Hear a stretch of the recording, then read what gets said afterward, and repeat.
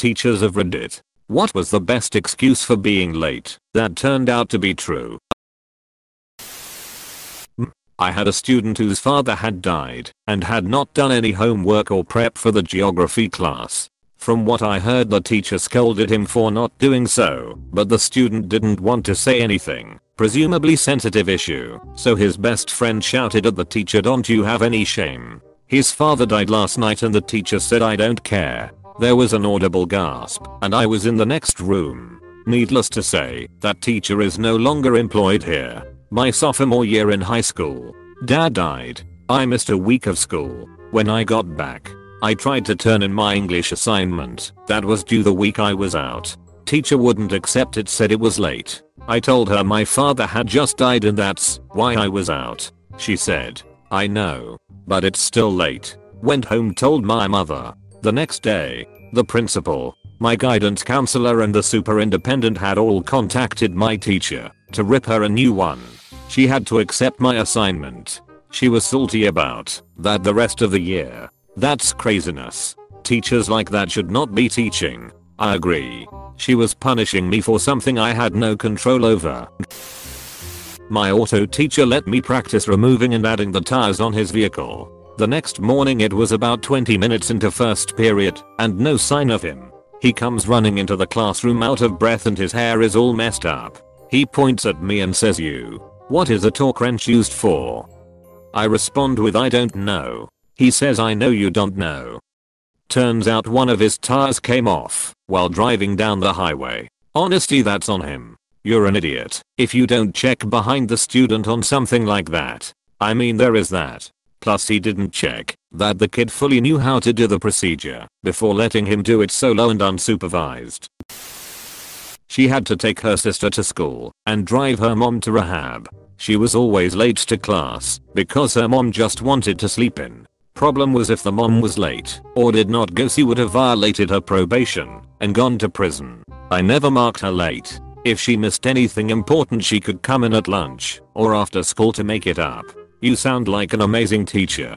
Thanks for all that you do. In that story, it sounds even more like an amazing student. Takes care of her irresponsible mother. Takes care of her sister.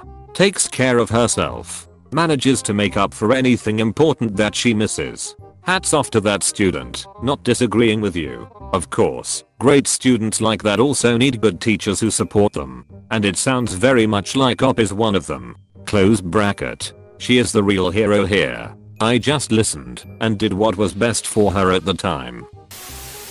Student here. I headed into school early to get some studying done in the library before my night class. I was one exit away when I was caught in a three car accident. Most of the expressway afterwards was gridlock with only one lane left open. I did eventually make it into my lab class 15 minutes late, with a few scrapes and bruises. My professor's reaction was simply oh that was you. Was he the one who hit you? We actually had two students in my math class in college get into an accident together right in front of the college. It was the funniest shit we had ever heard because the cops wanted to do the whole insurance thing and whatnot out in the road and both students basically just told them not to worry about it.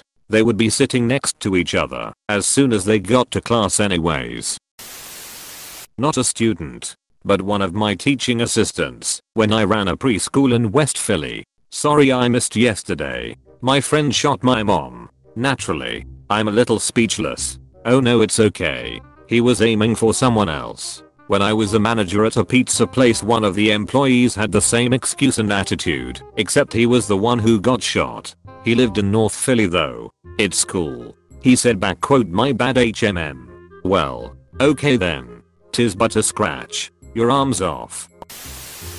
I was one of about 20 kids who were late to school. We showed up at the school office as a group, and when questioned why we were late, we said the school bus blew up. They questioned so the engine blew up the kids know. The whole bus, in flames. It blew up there was much conference between the teachers. All of them thinking we embellished the story. Next thing you know, one of the admin staff has the news website open very obvious image of an entire bus on fire with a bunch of kids in our school uniform standing in front of it. Our late slip for class read school bus blew up. If that happened I would walk home. If you could walk. former student here. Sorry, boss. My stepdad tried to kill us last night, and I had to deal with the cops. Professor just looked at me for a moment and said, Dude do you want to like, go grab a drink, and talk about this after class, man. My English prof was a bro when I was in college. Um, all good now? Ah, yeah. Dude's been dead now about 8 years.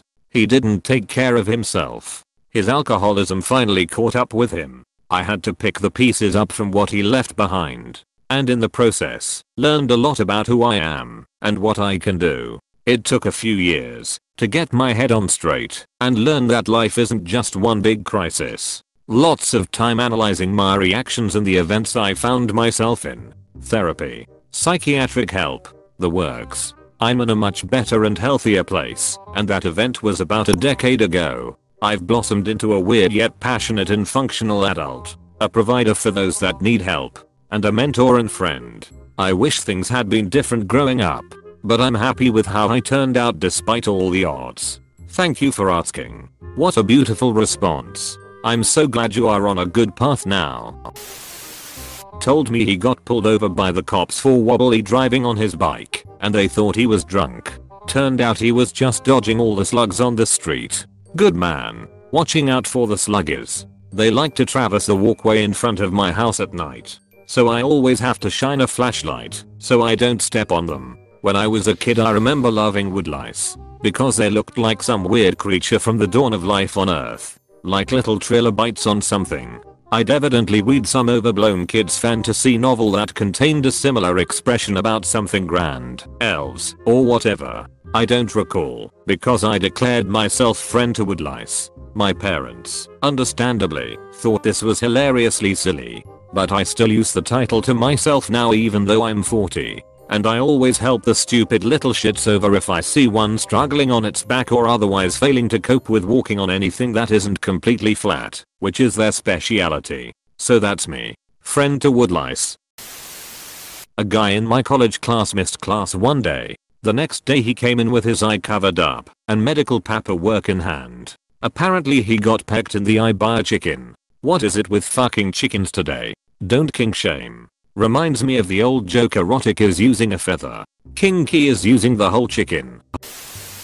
School sporting event. Kid on our team was late because someone stole his windshield wipers and it was snowing out. Kept having to pull over to the side of the road and wipe off his windshield. Wow. That's a real bastard that swiped his wipers on a snowy day.